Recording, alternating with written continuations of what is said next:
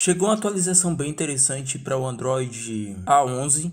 Eu estou na versão do Android 11 e agora foi lançado para mim o Android 12. Bem, Olha só, existem duas maneiras de você visualizar essa atualização. Primeiro, aqui em cima quando você puxa, ele já aparece a atualização, mas se ela não aparecer aqui, você pode vir aqui nos, na configuração, vir aqui abaixo e procurar por atualização de software e note que tem uma atualização aqui, ó. Se você clicar, vai aparecer essa informação. Bem, o que acontece aqui está nessa atualização, ó.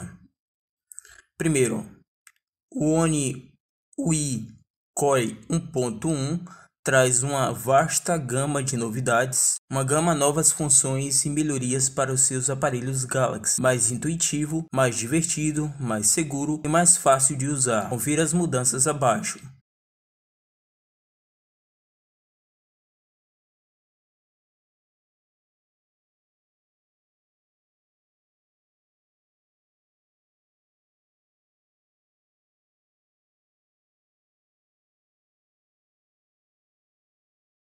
E ela vai aqui para informação de atualização. É bem extenso aqui o tem aqui algumas informações e você tem duas opções: ou você agenda a instalação ou você instala agora.